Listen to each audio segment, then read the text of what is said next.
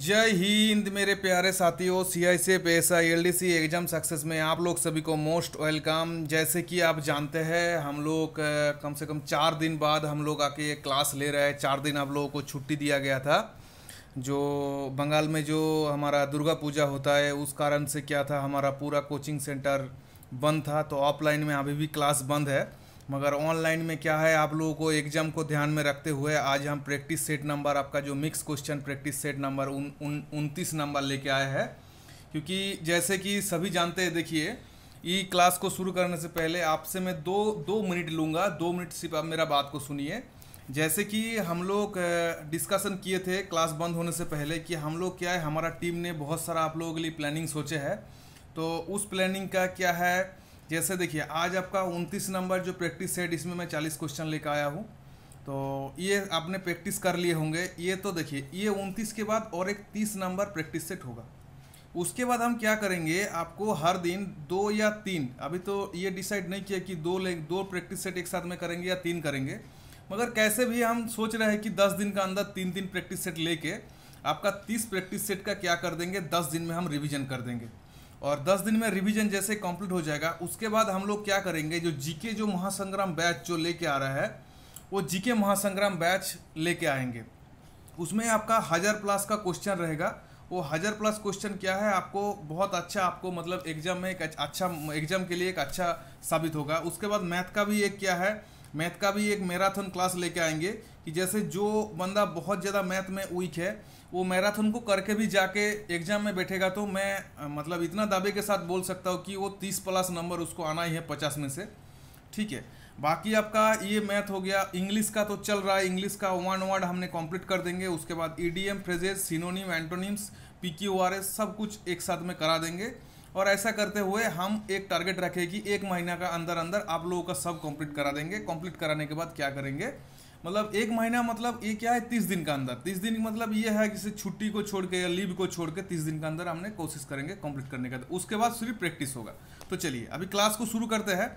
हाँ एक मैसेज है। जैसे ये जो उनतीस नंबर जो क्लास है, ये सभी के लिए है। तो जिन्होंने हमारा अभी भी कोर्स में ज्वाइन नहीं किए हैं और हमारे साथ बढ़िया से प्रिपरेशन करना चाहते हैं तो देखिए, ये कोर्स में ज्वाइन करने के लिए कोर्स फ़ी क्या है? दो सौ पचास रुपया है। और ये एग्ज़ाम तक का आपको मतलब एग्ज़ाम तक वैलिड रहेगा आपका, जब तक एग्ज़ाम नहीं होगा, उन्नीस बीस का, ठीक है? बाकी देखिए, कैसे जोड़ना है उसका बारे में इसमें मैं एक मैसेज दिया कि यदि आप हमारे साथ टेलीग्राम पेड कोर्स में शामिल होना चाहते हैं तो नीचे दिए गए नंबर पर संपर्क करें। अर्थात इस नंबर पर संपर्क करके जो nine seven nine seven three five seven zero seven two six seven. इस नंबर में कॉल करके भी जुड़ सकते हैं। नहीं तो आपको आप विश्वास करके हमारा इस नंबर में दो सौ पचास रुपया फ़ोनपे कर देने से, जैसे आप फ़ोनपे कर देंगे, उसके बाद क्या करिए, ये नंबर पे कांटेक्ट भी कर सकते हैं, नहीं तो व्हाट्सअप इसी नंबर पे है। इसी नंबर में क्या है, आपका नाम और आपका टेलीग्राम नंबर दे के भी आपको बोल देने से आपको जोड़ दिया जाएगा। तो ये प्रोसेस है। तो चलिए, अभी क्या है, हम लोग क्लास को शुरू करते हैं। जैसे क्लास आज का क्या है, जैसे सभी जानते हैं कि हमारा क्लास चलता है बाइलैंग्वेज तो उसी बाइलैंग्वेज को ध्यान में रखते हुए सबसे पहले जो आपका क्वेश्चन है, आपका रीजनिंग का क्वेश्चन है तो देखिए, क्या बोल रहा है कि select the select the related word from the given alternative अर्थात दिए गए विकल्प में से संबंधित शब्दों को चयन करें। तो देखिए इंग्लिश वालों के लिए इसमें इंग्लिश में दिए है, और हिंदी वालों के लिए क्या है, नीचे हिंदी में है। तो देखिए, ये एक मीडियम साइज़ हमने कर लिया साइज़ सभी को इसमें अभी दिखाई देगा। तो देखिए हम्म, हम्म, थोड़ा सा दिक्कत हो सकता है आप लोगों का। हाँ ये देखिए सभी को दिखाई देगा। तो देखिए फ़र्स्ट वाला क्वेश्चन क्या बोल रहा है? बोल रहा कोल। कोल का अर्थ होता है हिंदी में बोलता है कोयला। कोयला किससे संबंधित है? गर्मी अर्थात हीट से संबंधित है। कोयला से क्या? कोयला जलाने से क्या होता है? आपका हीट पैदा होता है। तो वाक्स वाक्स का मतलब होता है मोम। तो मोम को जलाने से क्या पैदा होगा? मोम को जलाने से आपका क्या पैदा होता है? बहुत सारा आदमी बोलेगा मोम मोम से मोमबत्ती, कोई बोलेगा मतलब मोमबत्ती का ऑप्शन ज़्यादातर देने का कोशिश करेगा, मगर मोम को जलाने से क्या होता है? आपका लाइट पैदा होता है। तो आपका ऑप्शन सी जो है लाइट आपका क्या हो जाएगा? आपका आंसर हो जाएगा। ठीक है? क्योंकि क्या है, जैसे हम लोग जानते हैं coal burn for producing heat same way क्या है? Wax burned for producing light मतलब जैसे कोल को जलाने से क्या होता है कि हीट पैदा करता है वैसे मोमबत्ती को जलाने से क्या होगा मोम को जलाने से क्या होता है लाइट पैदा करता है। तो ये ऑप्शन सी आपके लिए आंसर हो गया। ठीक है अभी देखिए उसके बाद दो नंबर क्वेश्चन में चलते हैं क्योंकि आज क्या है आपका क्वेश्चन चालीस क्वेश्चन लेके आए तो आप आपको पता है कि चालीस क्वेश्चन करने में भी आपको टाइम लग जाएगा इसलिए हम थोड़ा स्पीड को भी मेंटेन करेंगे। हम्म, देखिए आपको इसमें क्या बोल रहा है बोल रहा है सेम आपका सेम क्वेश्चन है, ये एनालॉजी संबंधित क्वेश्चन है, जैसे फ़र्स्ट वाला क्वेश्चन था एनालॉजी ये भी सेम है। बोल रहे हैं, देखिए स्क्वींड आई ठीक है मतलब क्या जैसे भूंगापन मतलब जो स्क्विंड होता है, क्या होता है, जैसे किसी का आँख होता है, जो उसका तिरछा होता है ना तो उसको बोलता है, उसको बोलता है क्या है, उसको उसको क्या बोलता है, उसको मतलब तिरछी आँख वाले को बोलता है, जैसे स्क्वींड बोलता है। तो जो स्क्वींड किससे रिलेटेड है, जो आँख से, अर्थात आँखों से रिलेटेड है। तो निचोड़ निचोड़ से किससे संबंधित है? आपको पता है कि हम लोग जो हाथ है, हाथ से क्या करता है? हाथ से हम लोग किसी चीज़ को निचोड़ते हैं। मतलब जो नखून से जैसे निचोड़ देते हैं। तो नखून इसमें है नहीं तो हम लोगों का क्या ऑप्शन हो जाएगा? हम लोगों का इसमें ऑप्शन हो जाएगा हाथ। तो हाथ देखिए इसमें क्या है? जो आपका हैंड है, देखिए हैंड ऑप्शन डी में है तो आपका हाथ आपका ऑप्शन डी आपका आंसर हो जाएगा। ठीक है। उसके बाद देखिए तीन नंबर क्या है? तीन नंबर बोल रहा है बोल रहा है जैसे आपका यही चीज़ रिलेटेड एस देखिए एस हम लोग अपोजिट वर्ड इंग्लिश में जानते हैं, जो इंग्लिश का अपोजिट वर्ड एस क्या होता है? एस का अपोजिट एस होता है, ठीक है? तो उसमें क्या बोल रहा है कि आपको बोल रहा है डी किससे संबंधित होगा? ऐसा डी किससे रिलेटेड होगा? तो डी का अपोजिट क्या है? देखिए, हम लोग जब याद करे थे तो एक चीज़ याद करते कैसे? देखिए ए टू जेड बी से हम लोग क्या करते हैं? बी से बॉय बी वाई सी क्या है? सी डब्ल्यू मतलब सी डब्ल्यू क्या? क्रुक से हम लोग याद रखे। डी से क्या रखे थे? सॉरी सी सी से सिक्स फिक्स सिक्स अच्छा ये आप लोग जैसे रखे थे किसमें सी से एक्स हुआ था और डी से डब्ल्यू मतलब ड्यू ड्यू से हम लोग रखे थे कि डी का अपोजिट क्या होगा? वाई होगा। तो आपको पता लग गया कि डी का जो अपोजिट होता है, वो वाई होता है। तो आपका ऑप्शन बी आपका आंसर हो जाएगा। तो एक चीज़ आपका हो गया। देखिए, चार नंबर क्वेश्चन क्या बोल रहा है? चार नंबर क्वेश्चन बोल रहा है, जैसे देखिए पुट पुट रिलेटेड क्या है क्यू यू क्यू भी यू तो सेम आपको टी किससे संबंधित है? अर्थात जैसे आपको देखिए पुट से हम लोग इसको करने का तरीका कैसा है? जैसे पुट से हम क्यू यू भी डाल देखिए पी यू टी हम लोग क्या जानते हैं? पी हमारा होता है अठारह। ए पी होता है सोलह। यू होता है हमारा इक्कीस और टी होता है बीस। अभी देखिए, ये कैसा बन रहा है? इसमें बन रहा है क्यू। क्यू का मतलब होता है सत्रह मतलब एक प्लस हुआ है। भी का मतलब होता है बाईस, इसमें भी वन प्लस हुआ और यू का मतलब होता है इक्कीस। तो हमको एक चीज़ पता लग गया कि सभी में एक एक प्लस हो गया। तो उसी हिसाब से देखिए, T T, E, A. T T से एक प्लस करेंगे तो टी से एक प्लस, टी के बाद क्या होता है? इक्कीस में टी तो बीस हो गया तो इक्कीस में क्या हो गया आपका? यू ई e आपका फाइव हो गया इसमें एक प्लस करेंगे तो आपका छः छः में क्या होता है? एफ़ और ई e, ए के साथ एक प्लस करेंगे तो आपका क्या हो जाएगा? बी तो देखिए यू ए बी कहाँ पे है? ऑप्शन सी में है। तो आपका option C U A B आपका आंसर हो जाएगा ठीक है? तो ये था आपका चार नंबर क्वेश्चन का आंसर अभी देखिए पाँच नंबर क्वेश्चन क्या है? पाँच नंबर क्वेश्चन है बोल रहा है कि जैसे डब्ल्यू डी डब्ल्यू एच से क्या बन रहा है? डब्ल्यू डी एस उसी तरह एफ़ यू एल से कैसे मतलब क्या बनेगा? जो चार ऑप्शन दिया हुआ है, इसमें चार ऑप्शन से कौन सा बनेगा? तो एक चीज़ ध्यान दीजिए। डी का अपोजिट डब्ल्यू होता है डब्ल्यू का अपोजिट डी होता है, और एच का अपोजिट एस होता है। तो एक चीज़ पता लग गया कि फास्ट में जो वर्ड दिया है, उसका पूरा अपोजिट क्या है बाद में दिया हुआ है। तो एफ़ का अपोजिट क्या हो जाएगा? एफ़ यू एल देखिए एफ़ क्या होता है?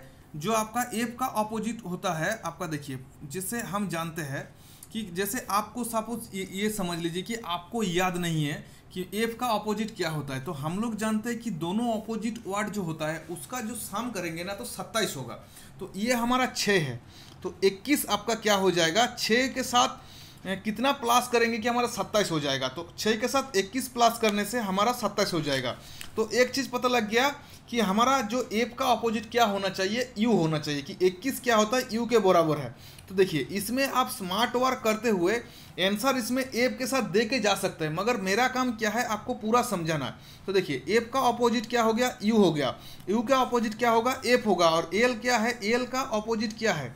हम लोग जानते हैं लाभ एल ओ वी ई लाभ एल का अपोजिट ओ होता है भी का अपोजिट ई होता है तो एल का अपोजिट ओ हो जाएगा। तो आपका ऑप्शन ए आपका पाँच नंबर का आंसर हो गया। ठीक है? अभी देखिए, अभी छः नंबर क्वेश्चन में चलते हैं। देखिए छः नंबर क्वेश्चन में क्या बोल रहा है?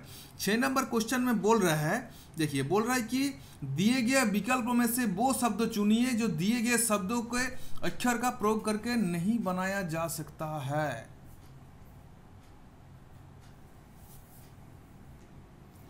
तो अभी देखिए छः नंबर क्वेश्चन में क्या है कि बोल रहा है, ये जो संख्या, ये जो क्वेश्चन ये जो मतलब आपका जो वर्ड दिया गया है, इस अक्षर से जो आपका नहीं बनाया जा सकता है, चारों में से कौन सा है? तो देखिए, सबसे पहले क्या करना है, इस क्वेश्चन को दो बार पढ़ लीजिए। जैसे क्या बोल रहा है इम्पैशनेबल तो देखिए, सबसे पहले आपको क्या देखना है सबसे पहले आप एक चीज़ को ध्यान दीजिए, क्योंकि आपने तो सभी ने क्या है कि जैसे मैं सभी को डाल दिया था क्वेश्चन तो सभी ने क्या है, शायद इसको कर लिए होंगे। तो इसको करने का जैसे प्रोसेस क्या है कि जैसे एक साधारण प्रोसेस होता है ना प्रोसेस क्या है?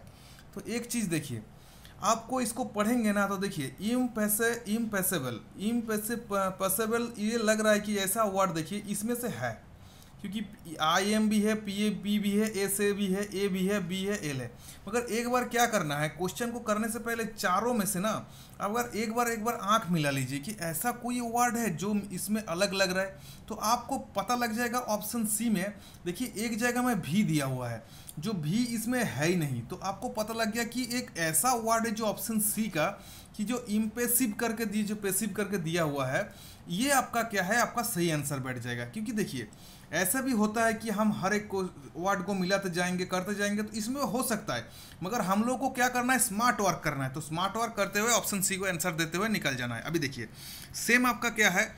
सात नंबर क्वेश्चन सात नंबर क्वेश्चन भी आपको क्या बोल रहा है कि इसको प्रयोग करके नहीं बनाया जा सकता। देखिए, नहीं बनाया जा सकता। तो देखिए, क्या इनडिटरमिनेट इनडिटरमिनेट में एक चीज़ आप बढ़िया से ध्यान दीजिए। तो देखिए इनडिटर्मिनेट में कौन सा ऐसा वर्ड है कि आपको थोड़ा बहुत डाउट हो रहा है?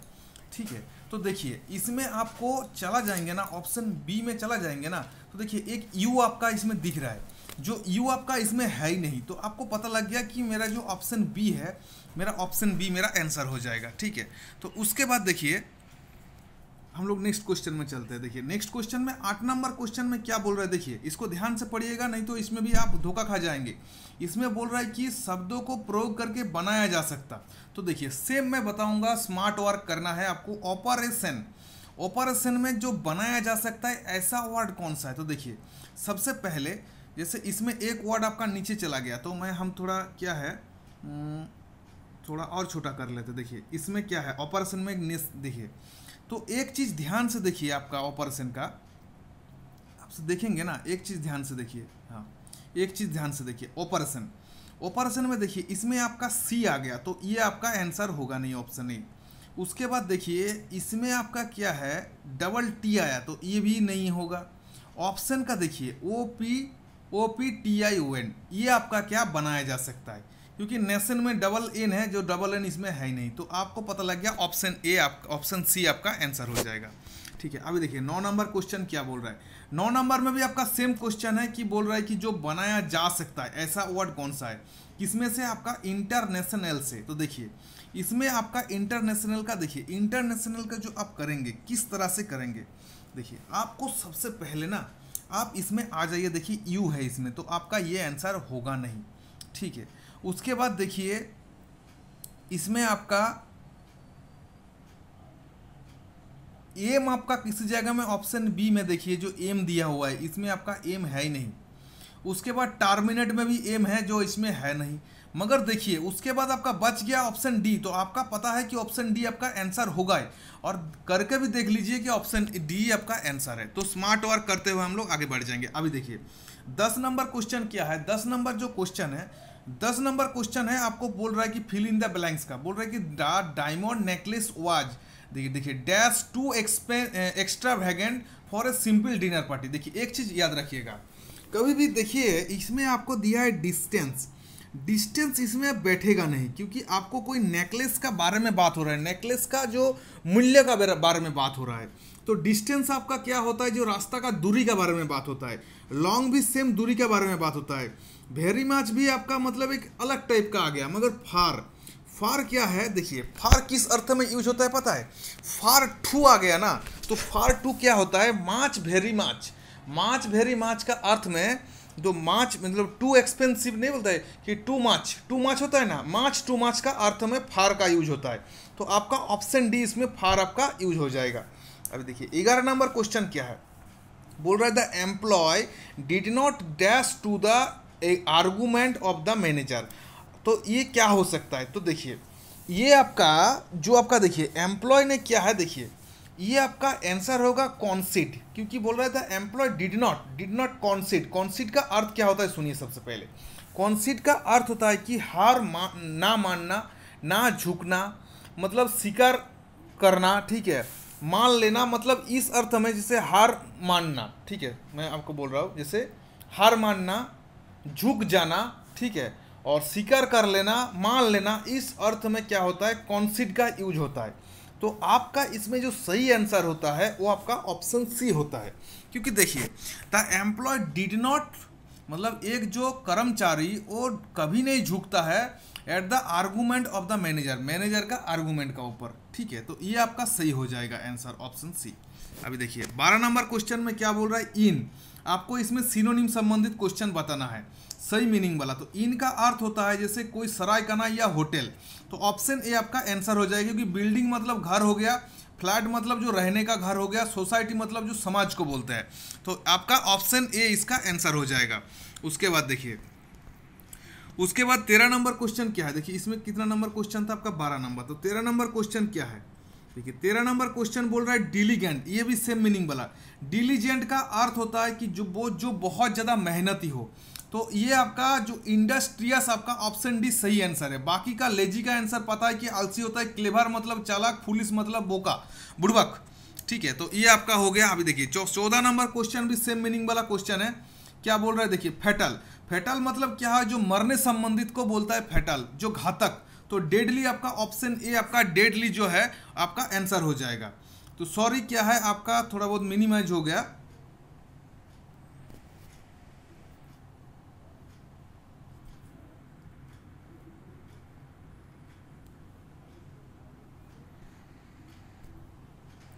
सॉरी मिनिमाइज हो जाने के लिए। ठीक है, अभी देखिए फेटल में आपको इस पता चला फेटल का जो आपका ऑप्शन ए आपका आंसर हो जाएगा। ठीक है, अभी देखिए, पंद्रह नंबर में सेम आपका लगभग मीनिंग मतलब आपका सिनोनिम संबंधित क्वेश्चन पूछे टॉसिक्स टॉसिक्स मतलब होता है कि जो पॉइजनस या विषाक्त बोलता है, जो बीजाणु वाला मतलब जो खत मतलब एक टाइप का जो जहरीला जहरीला को बोलता है तो इसका आपका ऑप्शन बी आपका आंसर हो जाएगा। ठीक है, उसके बाद देखिए, सोलह नंबर क्वेश्चन में आपको पी क्यू आर एस संबंधित क्वेश्चन आपको बोले हैं। देखिए ये क्वेश्चन को आपको एक चीज़ पता लग जाएगा। सबसे पहले आप इस क्वेश्चन को करने से पहले आप चला जाइए आप ऑप्शन में। एक ऑप्शन में देखिए, इसमें आर पी क्यू एस अर्थात आपको एक चीज़ पता लग गया कि मैंने एक ऑप्शन को फ़र्स्ट वाला ऑप्शन को पहचान लिया तो हमारा पूरा क्वेश्चन हो जाएगा। तो आपको पता कर, पता है कि कोई भी सेंटेंस में पहले, सबसे पहले नाउन होता है या सब्जेक्ट होता है या कर्ता होता है। तो इसमें आपको कर्ता या नाउन या सब्जेक्ट को ढूंढना है। तो देखिए, इसमें आप आर में आ जाइए मोहन लाल मोहन क्या है? मोहन लाल क्या है? मोहन, इसमें देखिए, ये मोहन लाल है। इसको मोहन लाल लिख लीजिएगा। मोहन लाल क्या है? एक आपका नाम है। तो नाम क्या कभी भी होता है? जो नाम होता है, वो क्या होता है? आपका नाउन होता है। तो आपको पता लग गया कि आर आपका सबसे पहले होगा। तो आपको और आगे देखना ही नहीं है। आप क्वेश्चन को मिलाते हुए आप खुद से कर लीजिएगा। आंसर इसमें आपको आर किसमें है? ऑप्शन ए में है तो आपको आंसर देते हुए आगे बढ़ जाइए। ठीक है? उसके बाद देखिए, उसके बाद देखिए, सत्रह नंबर क्वेश्चन क्या है? सत्रह नंबर क्वेश्चन बोल रहे हैं ऑपोजिट वर्ड संबंधित क्वेश्चन है। देखिए होलसेल होलसेल मतलब एक ऐसा दुकान होता है जहाँ पे आदमी इकट्ठा सामान लेते हैं और कम रेट में मिलता है। अर्थात इकट्ठा सामान इकट्ठा सामान जहाँ पे बेचता है। और इसमें देखिए, जो रिटेल होता है, क्या होता है? जहाँ पे खुचरा मतलब कम सामान, एक दो सामान बेचता है तो उसको बोलता है रिटेल रिबेट का मतलब हो गया छूट डिस्काउंट का मतलब भी हो गया छूट, और कॉन्सेशन का मतलब भी हो गया छूट. तो ये आपका तीनों का छूट से संबंधित है, ठीक है? उसके बाद देखिए आपका ऑपोजिट वर्ड क्या है? एडवर्सिटी देखिए, जो एडवर्सिटी जो होता है ना, ये आपका एडवर्सिटी का जो मीनिंग है, आप लोग खुद से बताइए कमेंट करके कि एडवर्सिटी का जो आपका मीनिंग क्या होता है। देखिए एडवर्सिटी का मीनिंग जो होता है विपत्ति या दुर्भाग्य या गरीबी इसको बोलता है एडवर्सिटी तो इसी का जो अपोजिट वर्ड आपका जाएँगे ना तो आपका ऑपोजिट वर्ड हो जाएगा पॉस्परिटी प्रॉस्परिटी क्या है? आपका ऑप्शन ए आंसर है। क्यों आंसर है पॉस्परिटी क्योंकि पॉस्परिटी का सम, जो आ, हिंदी मीनिंग है समृद्धि सौभाग्य प्रताप या खुशहाली। बाकी एंगर का मतलब क्या हो गया? जो आपका गुस्सा करने वाला ह्यूमिनिटी मतलब जैसे जो मानवता, ठीक है? बाकी तो आपका पता लग गया कि मेरा ऑप्शन ए आंसर होगा। बाकी ये आपका हम्बेलनेस हम्बेलनेस का मतलब जैसे किसी से हम्बेल बोलता है ना हम्बेल रिक्वेस्ट करना हम्बेलनेस नेस का लग जाने से क्या होता है? ये क्या होता है? नाउन नाउन बन जाता है, ठीक है? उसके बाद देखिए 19 में क्या है? 19 नंबर क्वेश्चन भी अपोजिट वर्ड का है। एरोगेंट तो एरोगेंट का मतलब क्या है? एरोगेंट का मतलब होता है अभिमानी, अहंकारी, घमंडी या हटी। उसको बोलता है एरोगेंट तो इसका जो सही मीनिंग बैठ जाएगा आपका मॉडेस्ट मॉडेस्ट का मतलब होता है जो विनित करना, किसी को विनित बोलता है ना, विनित निवेदन है मतलब निवेदन, शालीन, विनम्र, नम्र, विनयपूर्ण, इसको इतना को मॉडेस्ट को बोलता है। अभी देखिए सेल्फिश मतलब जो आपका होता है, सारथी होता है। प्राउड मतलब जो वो भी एक सेल्फिश का मतलब सिनोनिम समझ सकते हैं, ठीक है? तो आपका ऑप्शन ए इसका 19 का आंसर हो जाएगा। अभी देखिए 20 नंबर क्वेश्चन क्या है?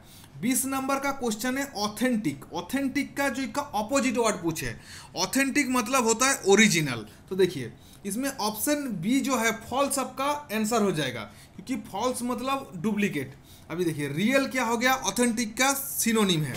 उसके बाद देखिए जेनुइन भी क्या है? आपका ऑथेंटिक का सिनोनिम है फैक्चुअल फैक्चुअल मतलब जो ओरिजिनल ये भी आपका सिनोनिम है। तो आपका फॉल्स आपका आंसर हो जाएगा। इक्कीस नंबर में देखिए ईडीएम संबंधित क्वेश्चन है। अर्थात हिंदी में जिसको बोलता है मुहावरा। तो देखिए, the the work like a dog work like a dog का मतलब होता है, जैसे कोई कुत्ता या कोई डॉग क्या होता है, देखिएगा, कोई चीज़ को करता है तो बहुत मेहनत के साथ करता है। तो वर्क लाइक ए डॉग का अर्थ होता है कि बहुत मेहनती होना। तो इसका जो ऑप्शन हो जाएगा टू वर्क वेरी हार्ड जो ऑप्शन ए है आपका वर्क वेरी हार्ड आपका आंसर हो जाएगा. अभी 22 नंबर क्वेश्चन देखिए. ये क्या है? ईडीएम संबंधित क्वेश्चन है. बोल रहा है कि to be in the driving seat to be in the driving seat का जो मतलब होता है मतलब आपने क्या है?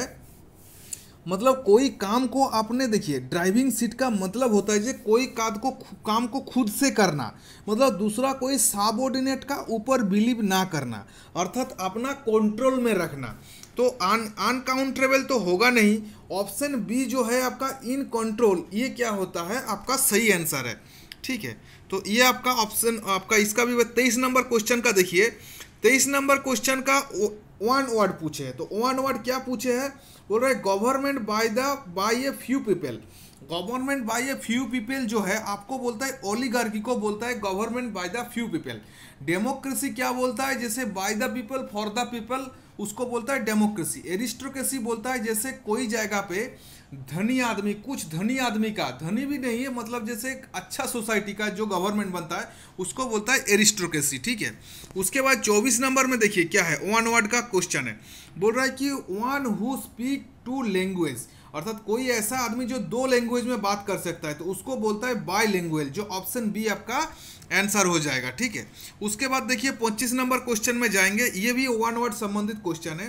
बोल रहा है one who can read and write मतलब ऐसा कोई आदमी है जो पढ़ लिख सकता है तो उसको क्या बोलता है? लिटरेट ऑप्शन ए आपका आंसर हो जाएगा। अभी देखिए 26 नंबर में आपका जीके संबंधित क्वेश्चन है। बोल रहा है, राजा राममोहन राय मतलब किसका संस्थापक थे? अर्थात नीचे चार ऑप्शन दिया है, इसमें कौन सा राजा राममोहन ने संस्थापना किया था। तो देखिए, जो ब्रह्म समाज जो थे ब्रह्म समाज का जो स्थापना राजा राममोहन राय ने किया था तो ऑप्शन बी आपका आंसर हो जाएगा। अभी देखिए, सत्ताईस नंबर क्वेश्चन में बोल रहा है, मॉर्ले मिंटो रिफॉर्म किस साल पारित हुआ था? तो ये 1909 में मॉर्ले मिंटो रिफॉर्म पास हुआ था। इसी में जो इलेक्शन का बारे में बताया गया था। ठीक है, जो केंद्र में और स्टेट में इलेक्शन का बारे में बात हुआ था। ठीक है, अभी देखिए। ये आपके लिए इंपॉर्टेंट क्वेश्चन है कि प्रीवियस ईयर से ये क्वेश्चन आया था कि दिल्ली चलो का नारा किसने दिया था? तो दिल्ली चलो का नारा जो दिया था, ये आपका दिया था नेताजी सुभाष चंद्र बोस ने। तो आपका ऑप्शन सी आपका आंसर हो गया, ठीक है? उसके बाद देखिए। उसके बाद आपका जो क्वेश्चन है, आपका उनतीस नंबर क्वेश्चन है, बोल रहा है डब्ल्यू डब्ल्यू डब्ल्यू जो थ्री डब्ल्यू होता है, जो इंटरनेट में सर्च करता है, वो क्या, उसका फुल फॉर्म क्या है? तो उसका जो फुल फॉर्म है world wise wide wide web जो आपका ऑप्शन बी में है, ये आपका सही आंसर है, ठीक है? सॉरी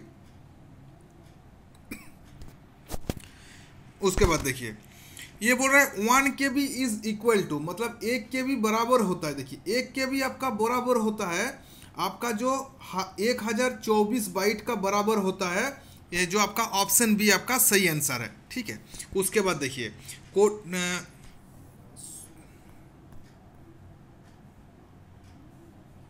ये आपका थर्टी वन नंबर क्वेश्चन है। थर्टी वन नंबर क्वेश्चन बोल रहा है कि Kudankulam atomic energy plant situated अर्थात कोडमकुलम परमाणु ऊर्जा संयंत्र स्थित है कहाँ पे? तो ये आपका तमिलनाडु पे, ठीक है? ये आपका ऑप्शन बी आंसर है। उसके बाद देखिए, बत्तीस नंबर क्वेश्चन क्या बोल रहा है? बत्तीस नंबर क्वेश्चन बोल रहा है कि भारतीय राष्ट्रीय कांग्रेस की पहली महिला अध्यक्ष कौन है? तो पहली महिला अध्यक्ष बोलेगा तो आपका एनी बेसांत होगा, मगर इसी में ऑप्शन में होता सरोजनी नायडू और इसमें बोल दिया होता कि भारतीय राष्ट्रीय कांग्रेस का पहली भारतीय महिला कौन बना होता तो उसमें आपका सरोजनी नायडू आपका क्या होता? उसमें आपका आंसर हो गया होता। अभी देखिए, इकतीस नंबर में क्या बोल रहा है कि भारतीय राष्ट्रीय कांग्रेस ने किस वर्ष पूर्ण स्वराज की अपना लक्ष्य घोषित किया था? तो ये आपका उन्नीस सौ उनतीस आपका जो ऑप्शन बी है, आपका आंसर हो जाएगा। अभी देखिए thirty five number thirty four number question क्या है? एलसीएम संबंधित क्वेश्चन है। इसमें बोल रहा है कि जैसे चौबीस, तीस चालीस और साठ, इसमें से आपका कौन सा आपका लघुत्तम समावर्तक होगा? अर्थात जो आपका लासा कौन सा होगा? तो देखिए, इसको करने के लिए क्या है? पहले इसको आप काटते जाइए लास्ट में जब तक वन नहीं आता है। उसके बाद सबको गुना कर लेना है। मगर जब इसमें ऑप्शन में है तो हम एक चीज़ देख सकते हैं। देखिए, साठ एक ऐसा वर्ड है कि साठ में ये खुद से कट जाएगा तीस भी कट जाएगा, मगर ये दो नहीं कटेगा तो आपका साठ आंसर नहीं होगा। बाकी ये नॉन ऑफ़ दिस अभी हम इसको आंसर नहीं देंगे तो आपका ऑप्शन सी कट गया। मतलब हम ऑप्शन से करेंगे तो अभी 140 में आप 60 को डिवाइड करेंगे तो ये होगा नहीं तो आपको पता लग गया मेरा ये भी नहीं होगा। मगर देखिए 60 से 120 को काटेंगे तो काट जाएगा 40 को काटेंगे तो काट जाएगा 30 को काटेंगे तो कट जाएगा 24 को भी काटेंगे तो कट जाएगा। तो हमको पता लग गया कि हमारा आंसर ऑप्शन ए ही होगा, ठीक है? उसके बाद देखिए, पच्चीस नंबर में आपको बोला एच सी एफ़ जैसे मैं आपको बताता हूँ कि एच सी एफ़ करने का जो आसान तरीका, सबसे पहले जो संख्या दिया हुआ है, उसमें ढूंढिए कौन दो संख्या का बीच का डिफरेंस कम है। तो इसमें देखिए, चौबीस और तीस में बीच का डिफरेंस छः है। तो आप देखिए छः से क्या ये तीनों को काट सकते हैं? छः में ये कट जाएगा, ये कट जाएगा, मगर ये छः से नहीं कटेगा। तो आपको छः से दोबारा तोड़ना है। क्या तोड़ना है? देखिए, दो और तीन से तोड़िए। एच सी एफ़ का अर्थ होता है कि बड़ा से बड़ा संख्या। तो सबसे पहले बड़ा संख्या को देखेंगे, देखिए। तीन से हम कटेंगे तो चौबीस भी कट जाएगा, तीस भी कट जाएगा, पैंतालीस भी कट जाएगा। तो आपका ऑप्शन, जो आपका बी जो तीन नंबर, जो तीन आपका सही आंसर हो जाएगा, ठीक है? उसके बाद देखिए, छत्तीस नंबर क्वेश्चन आपका क्या है? छत्तीस नंबर क्वेश्चन आपका है, आपका ये आपका क्वेश्चन है, रेशियो प्रोपोर्शनेट संबंधित क्वेश्चन है। तो इसको करने का तरीका कैसा है? इसको करने का तरीका शायद आप लोगों को बेसिक को सबको पता है। तो देखिए बेसिक को नहीं पता होगा तो आपको क्या करना है? सबसे पहले आपको लिखना है, A A is to B कितना देखिए ए इज़ टू बी आपका है सेवन इज़ टू नाइन और बी इज़ टू सी कितना है आपका? फाइव इज़ टू सेवन इसको करने का प्रोसेस है उल्टा एन उल्टा एन का मतलब देखिए ए बी सी आपका निकल जाएगा उल्टा एन करने से। पहले पाँच से सात को गुना करेंगे तो हमारा पैंतीस आ जाएगा।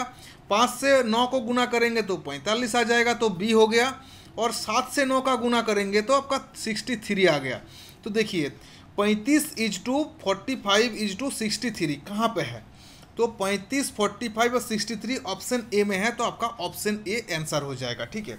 अभी देखिए, सैंतीस नंबर क्वेश्चन क्या बोल रहा है? सेम आपको क्वेश्चन दिए, इसमें तीनों को नहीं पूछे, ए एच टू बी को पूछे। तो देखिए जब तीनों को निकलना है तो उस तरीका से निकल सकते हैं। इसमें भी उस तरीका से निकल सकते हैं, मगर मैं इसको एक आसान तरीका समझाऊँगा। देखिए ए एच टू बी का अर्थ होता है कि हमने क्या करेंगे?